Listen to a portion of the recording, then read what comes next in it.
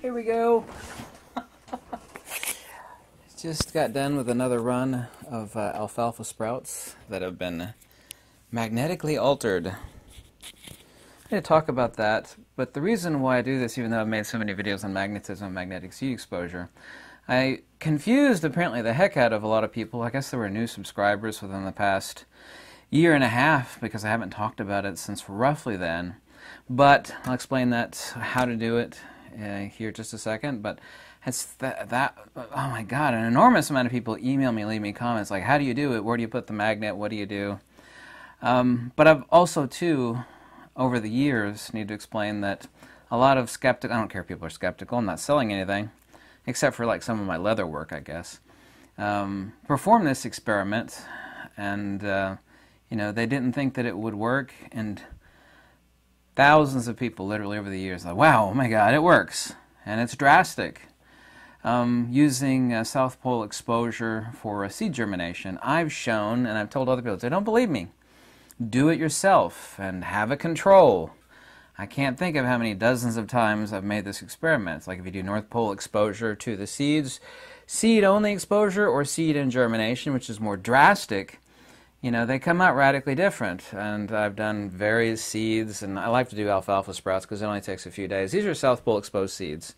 I did seed exposure and seed during germination exposure for uh, the past six days. These are uh, five and a half days old. They grow fresher, they taste better, they smell better. You know, I can't show you that in a video, but they do smell better. And you should never eat during a video. These are crunchy, they smell good, they taste good. I'm going to stick these in a salad later. This is one of the big jugs that I use uh, for uh, germination of my alfalfa seeds. There's less dead seeds. However, if the seeds are dead, it's not like the South Pole exposure is going to magically bring them back to life. But here's what you do. Um, you could do seed-only exposure. You know, if you're planting the seeds, you obviously, unless it's one or a few plants, which you can do also, and people have done this, um, where you place the magnet underneath the root system where the actual south side, and this isn't it. I don't want to get it too close to my computer here and uh, my camera and some other stuff. You do south pole facing towards the seed. Say this rock is the, uh, the magnet, and I use 2 inch by 2 inch by 1 inch thick. They're either N42 Gauss or N55 Gauss. You can buy them on eBay, okay? 2 inch by 2 inch by 1 inch. Don't ever use ring magnets. It'll take me like a half an hour to explain why not to use ring magnets, but don't use ring magnets. Needs to be of a sufficient size. Smaller magnets will work, but it's a bad idea. Just buy what I tell you to buy. Buy the 2 inch by 2 inch by 1 inch block magnets. Find the south pole of the magnet. You can use that doing a compass, a magnetic uh, uh, field finder, which most of you don't have, or I made countless videos where you actually put the magnet on a plate of oil that's slick. You shake the plate and the magnet will turn itself to the orientation relative to the Earth's magnetic field. It's like, oh, that's the south pole of the magnet. And you mark it, of course, the south pole. So for seed exposure, I'll actually um, take seeds, of course, depends on what type of seeds they are, how big or small they are, and roll them up into a uh, a uh, paper tube, or you can just sit them in a, a little glass petri dish or something like that. South side of the magnet facing towards the seeds, right? You know, south side facing towards the seeds. Place them on there. It's effective with as little as uh, half an hour to 40 minutes of exposure. Rawls and Davis proved this. They tested various times of exposure. You can actually change whether the tomatoes grow, um, produce more or less acidic tomatoes. They, I would never test on animals, but they tested worms and chicken embryos. They, every sort of seed imaginable, someone's already duplicated this experiment with. Okay, so you just do seed exposure only, and you'll get drastic results. For more drastic results, like I with my alfalfa sprouts, when I'm done actually exposing the seeds, I'll have a little uh, tray that holds the magnet. Since this big jug can't sit on top of a little 2 inch by 2 inch, 1 inch magnet south side facing up, okay, south side facing towards the seed. I'll put it on top of the magnet. And of course, you have to water your seeds every three plus hours. Yeah, you don't have to turn it or anything like that. So the south side's facing the magnet. Um, there's a few reasons why the magnetic exposure. These smell so good, by the way. Ah, hear that echo? is uh, look this up. Water is a polar molecule. Water is also the necessity for life to exist because without water, all living creatures are just a pile of dust. I think anybody with a half a brain knows that. Water also too is the polar mole- molecule necessary for consciousness to exist. Water is specifically the dipole molecule. Yes, water also too, the molecule of water, is the only incommensurable perfect geometry in the entire universe. Yes, that's the reason why I have this. It's upside down. This green triangle here. You actually take this, let me turn it this way. You take this green triangle and you make it in triplicate, it makes the Pythagorean pentagram. Yes? Incommensurability, this is not my opinion or belief, this is a hardcore fact.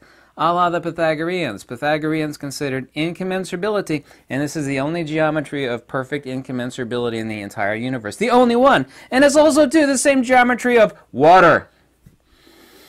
Is the secret of the Pythagoreans. Water being a polar molecule. And what's a polar object that you or I or any child might know about?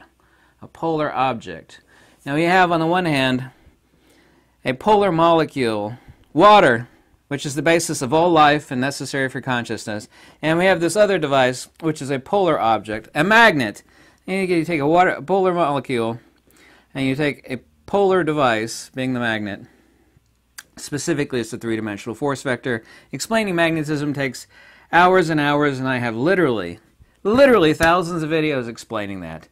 Literally, I can say that. So I can't do that in one video. So you have polar molecule of water, and we have the polar device of the magnet, and you put two and two together, and we have magic. You remember that Jack and the Beanstalk, where you had the magic seeds? You know, it's kind of fanciful little child's fairy tale, but this is real. I literally had thousands of people respond to me over the years. Oh my God, I didn't believe you. It's like, it's so simple. This guy's not selling anything. I'm going to try it. You know, no one told me about this in high school or college. This is amazing. And they did it and like, oh my God, it works. it does work.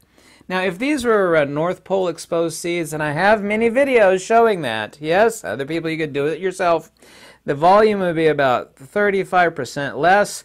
They would actually, uh, on alfalfa seeds, this applies to any seeds or sprouts or microgreens, they wouldn't be crunchy and fluffy. They're, they would they, they look uh, darker color, they look flaccid, Yeah, I know there's a joke in there somewhere. They look uh, uh, flaccid and weak. They have a smell kind of like kerosene. It's an unmistakable. These smell exactly like the most amazing fresh uh, veggies you picked out of your garden. You know what that smells like. I hope you do anyway. And these are South Pole exposed. Like I said, there's two methodologies. There's a drastic result and there's a more drastic result. The drastic result is seed exposure only. You don't have to do it for very long, an hour or two. Literally, and Rawls and Davis, I don't have the time for it. I've uh, tested as long as a month and had the same results. Rawls and Davis tested for like a half a year and a year, just exposing the seeds only, and then you know removing the exposure, and then doing the experiment much further down the road time-wise. Same effect. Changes the nature of the seeds such that it absorbs and uh, applies the water to the growth and germination of be it the microgreens or in this case the sprouts to give that effect. The more drastic result is seed exposure and germination of the microgreens or the sprouts. Like I said, I don't even I wouldn't even have to. So when you actually uh, soak these in the water, I didn't have to do seed exposure only, um, but I do because the, the effect is more drastic. I just take these seeds, plop them in the jug, put my magnet. Oops, put my magnet underneath the seeds. You know, of course, you have to water them every three or four hours and uh, still get the same result essentially. There would be a difference, but I mean it would be almost uh, unquantifiable. I would think. I've not seen any difference, but it is more drastic if you do seed exposure and germination. Do seed exposure only, there is a drastic result. So that's how you do it. Get yourself. Don't argue with me. It's like, well, someone going to use this little tiny mag. No, don't do it. Uh, you know, the magnets actually, uh, the neodymium is like a commodity, like silver. Literally, it's like silver and it goes up and down like silver and gold does. These magnets used to be a lot more friggin' expensive. Right now they're pretty darn cheap. So don't argue with me about the magnets. Like, what I gotta use this? Because you say, well, I have a refrigerator magnet. Not gonna work. It would work, but not really. If you want the result, get a 2 inch by 2 inch by 1 inch block magnet. They're either N42 Gauss and 45 Gauss. Get them on eBay. There's a guy there on Emovendo. Um, you know, they're mass produced in a couple countries, mostly China. They're ceramic, so they will break. And I had a, a guy email me recently he smashed, I, I don't know if he broke his finger, he smashed the hell out of his finger. They're really dangerous. If you order more than one, if you get them even close and you have your fingers in between, you're going to break your finger. And if you don't break it, you will it will cut you like uh, someone, you know, sticking a knife in your finger. They are dangerous. You get more than one, they're dangerous. Okay? You get them close together, they will snap together, and whatever is in their way, it will destroy whatever is between those two magnets. So a 2 inch by 2 inch by 1 inch neodymium is a wicked beast that will hurt you. Fair warning. Be careful! I've seen people, I've handed the magnet, and I warned I was like, it's dangerous! And, you know, they get their hand near my refrigerator, and it went wham! Smashed the hell out of the guy's fingers. It cut, uh, cut open one of his fingers even though they don't have sharp edges. Anyway, that's how you do the seed exposure, uh, magnetic seed exposure. And the reason for that, it's complicated, but not really. You have a polar molecule, which is water. They also, too, the only water, uh, the only molecule in the universe that is capable, due to its incommensurable geometry, which is why I have that tattooed on the back of my hand.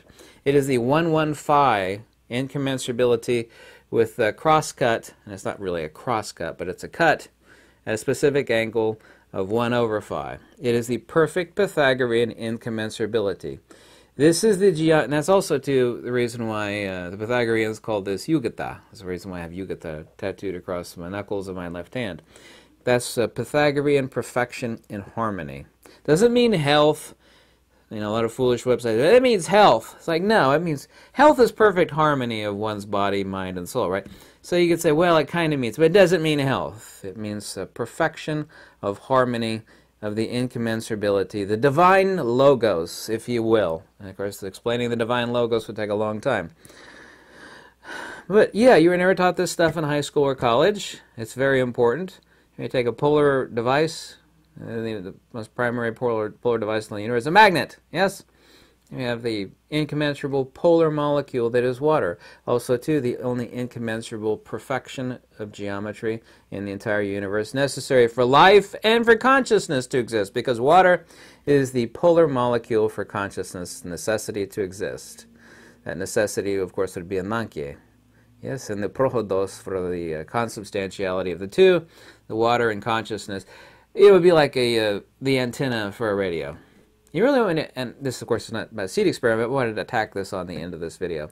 What is Allah consciousness or, you know, um, the consubstantiality? Because this is just water and dust. Any living creature is just water and dust. Yeah, without that water, life's not possible. But because of the incommensurability of, uh, of water and its geometry, consciousness, and the consubstantiality of spirit and matter, of course, you have life. But the perfect, most perfect analogy I could think of without getting into like an hour long explanation of the uh, incommensurability of the water molecule is that water is the dipole antenna, is literally the antenna. Because I could have this radio, and I could have a battery in it, and I could turn it on, and I could have a signal out there. And this radio still isn't going to do a damn thing. But what water is, is the antenna. You know, I could have the radio, be perfectly working fine, and a battery in it, and I could have it turned on, and going to get nothing. I'm a ham radio operator, at least I used to be. Ham radio is pretty boring. Always was a big radio buff. So I can have the signal and the radio and the battery, and I have the radio on. Nothing's happening. But with the antenna, it makes the two possible. And that's what water is. It's dipole antenna of life, of consciousness.